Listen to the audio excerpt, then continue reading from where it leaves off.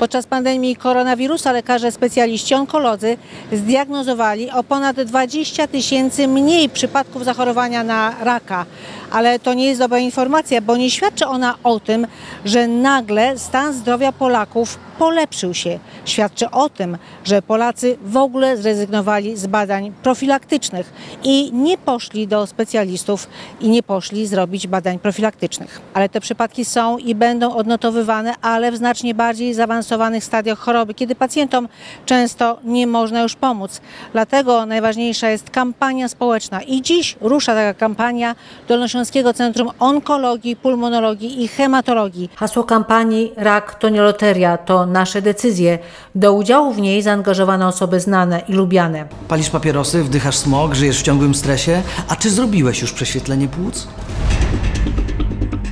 Właściwie ten proces taki decyzyjny to nie, nie trwał nawet milisekundy, dlatego że to wielce ważna sp- sprawa, ale no również z takich prywatnych powodów. W mojej rodzinie, e, jak myślę, że w wielu, bo to choroba XXI wieku, e, było wiele przypadków, niektóre szczęśliwie e, wyleczone, niektóre nie, niestety. Zła dieta, brak ruchu, alkohol, papierosy, a badania profilaktyczne, prześwietlenia, kolonoskopia, USG. Pamiętaj, lepiej zapobiegać niż leczyć. Staram się promować zdrowy tryb życia, o- odżywiam się zdrowo, ym, biegam y, i chodzę do lekarza, co jest najważniejsze. Chodzę do lekarza na badania kontrolne, badam się cały, y, żeby uprzedzić ewentualny atak choroby. Bo żadna choroba nie czeka, tym bardziej nowotwory. Pokazała to pandemia. Utrudniony dostęp do lekarzy i badań, strach przed zakażeniem koronawirusem spowodował, że wielu z nas zapomniało o tym, że rak atakuje i zabija bez względu na wszystko. Efekty takiej sytuacji widać teraz. Pacjenci zaczęli lawinowo się zgłaszać i niestety z nowotworami o wyższym stopniu zaawansowania, więc te parę miesięcy takiego e, utrudnionego dostępu do specjalistów spowodowało, że nowotwory zostały wykrywane w wyższym stopniu zaawansowania. Stąd konieczność przypomnienia o tym, że badania profilaktyczne mogą uratować życie, namawiają aktorzy, sportowcy, byli pacjenci. Jedną z pierwszych osób, która wyraziła gotowość wzięcia udziału w tej kampanii był Andrzej Piaseczny. Kolejną osobą Marek Krajewski.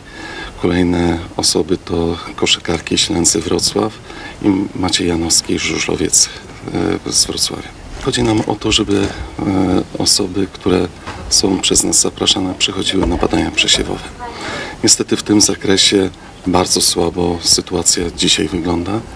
Na koniec tamtego roku w zakresie profilaktyki raka piersi udział pań w badaniach przesiewowych to było 35%, a takim standardem europejskim wymogiem minimalnym to jest 70%. Czyli mamy jeszcze bardzo długą drogę do nadrobienia. Co drugi Europejczyk zachoruje na raka. Znacznej części przypadków można uniknąć lub skutecznie je wyleczyć, pod warunkiem, że zostaną wcześniej wykryte.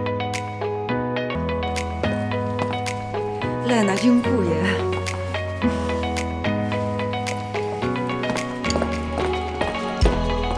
Nie odkładaj życia na później. Rak nie zaczeka.